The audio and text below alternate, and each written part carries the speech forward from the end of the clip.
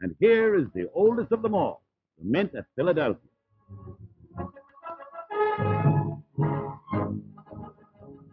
A far cry from the original structure, this modern, well protected building affords the inside story on a real money making proposition. The story behind the pennies, nickels, and dimes spent so casually every day. In 1792, Congress established the first mint in Philadelphia, and in the present building, there's a permanent exhibit of documents and machines important in the history of money making. Old bills of record show the high financial dealings of our forefathers. In the early years, coins were pressed by hand on a machine such as this. Considering the tools they used, the quality and number of coins which the early mint turned out is truly remarkable. These scales were used to check the weight of metals in the 1800s, and it is a tribute to their maker that they are still accurate enough to be used today. Women control the nation's purse strings, so it is fitting that the making of coins is under the supervision of a woman. Mrs. Nellie Taylor Ross is director of the Mint and custodian of our vast gold and silver store. Next time you reach into your pocket for nickel to make a phone call, stop a moment to think of the hours of work that went to produce that single coin. Various designs were submitted, one finally approved and sent to the engraving department of the Mint. Here, an artist is putting the lettering and finishing touches on the original clay model of a medal bearing the likeness of President Franklin D. Roosevelt. From the clay, a plaster model is molded and finished by hand, and in turn, this is used to make a hard metal form from which the finished metal is reproduced in bronze. A transfer engraving machine reduces the original to a small die from which commemorative medals can be struck off. Beginning with George Washington, it has been the custom of the Mint to strike off medals bearing the likenesses of our presidents. And these handsome medallions may be purchased from the Philadelphia Mint.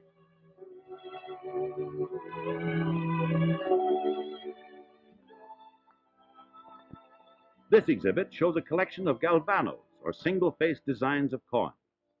These are the five coins of less than a dollar value which make up the bulk of the mint's output. Coin designs are changed at set intervals, but the size and metal content always remain the same. This is the transfer engraving machine, which reproduces mechanically the design of a large model on a small master die in steel. The sensitive pointer follows the raised figure of the coin to be copied. This is reproduced by the small cutter, which carves out the design as it travels in endless concentric circles. This giant press uses the master die just completed to make many working dies.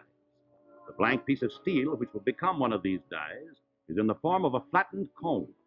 It is placed in the press, and the stamping die is forced down upon it. The dial above shows that a pressure of 50 tons is forcing the blank and the master together. The press lifts again, and the blank piece of metal has become a perfect die. After being hardened, this die is ready to go to work striking off actual coins. The metal content and fineness of coins is fixed by law. Here, metal is being weighed out for the making of pennies. A single penny weighs 48 grains and contains 95% copper, alloyed with 5% tin and zinc. Carefully weighed out in small units, the alloys are placed in a separate box, which will put in the melting crucible along with the pigs of pure copper. Each step is supervised by trained men. Their accurate work has built up over the years the unshakable confidence of the people in the money of their government. The carefully measured amounts of copper, tin, and zinc are ready for the furnace, but it is not stoked with metal haphazardly. The carefully measured portions are added exactly as they arrive from the weighing room. One at a time, the loader puts in the pure copper, tin, and zinc. Copper pigs in the furnace, and the alloy metals added. The door to the furnace is closed leaving only a small hole for observation during the melting and later for pouring out the molten metal.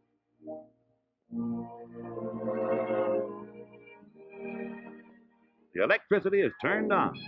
Flames and vapor belch forth, and the temperature is carefully watched as these furnaces start their work of fusing a strong, long wearing alloy. During the melting, the entire furnace rocks to and fro to aid in the mixing.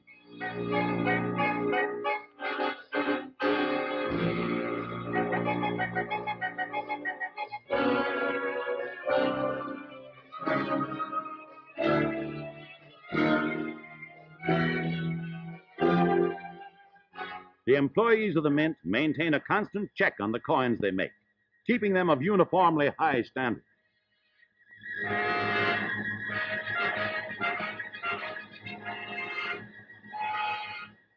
When the melting has been completed, the delicate operation of tapping the furnace gets underway.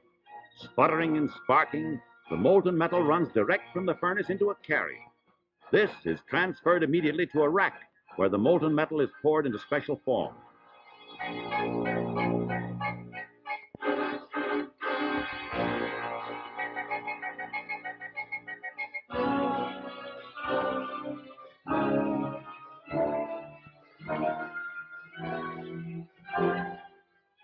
These molds form ingots of copper alloy 20 inches long.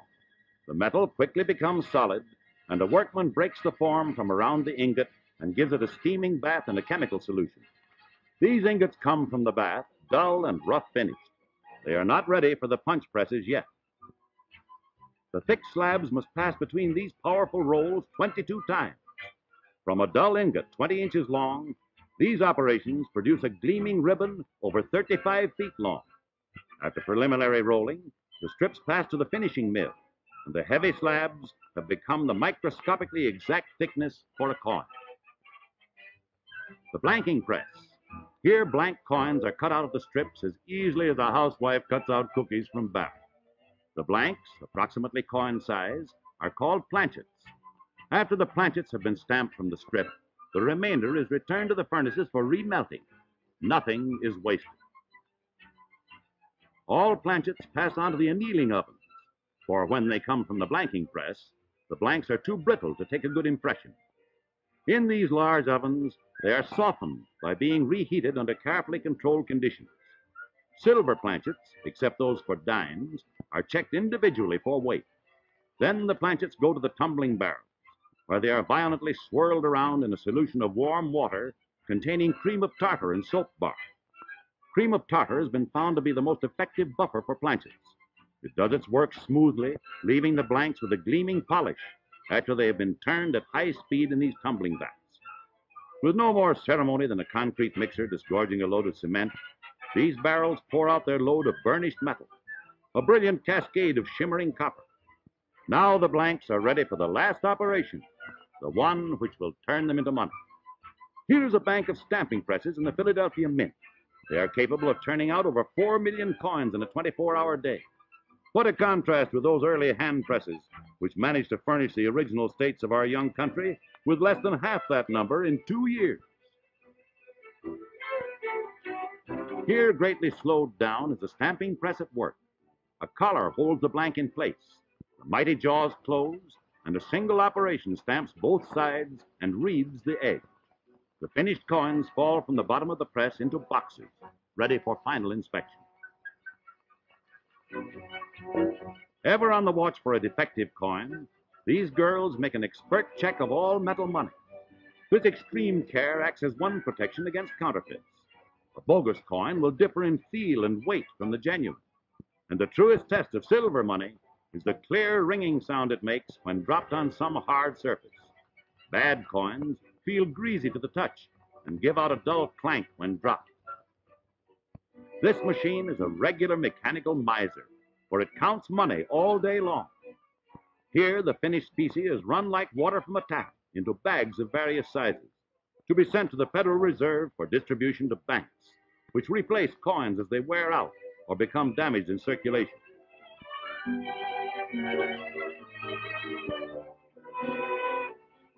Each bulging bag contains $50 in gleaming new nickels a thousand profiles of Thomas Jefferson, which will buy a thousand cups of coffee or 5,000 sticks of gum.